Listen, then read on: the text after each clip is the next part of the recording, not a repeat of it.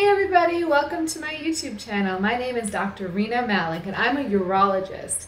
So I'm a urologist who specializes in female pelvic medicine and reconstructive surgery or FPMRS. What exactly is that?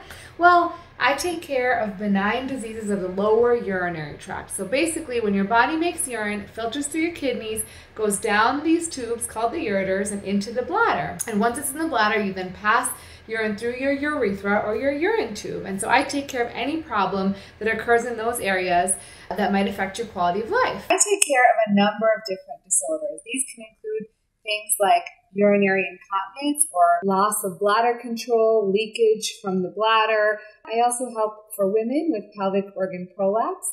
So that can be when you have a bulge sensation in the vagina or pelvic pressure because you feel something is coming down.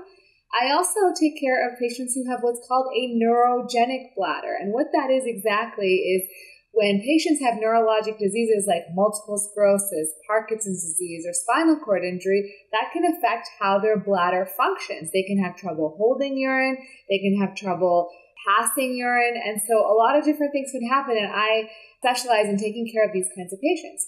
I also take care of a number of kind of abnormal reconstructive things, or what's fancy term is urogenital reconstruction. So basically, urethral diverticulum, fistula disease.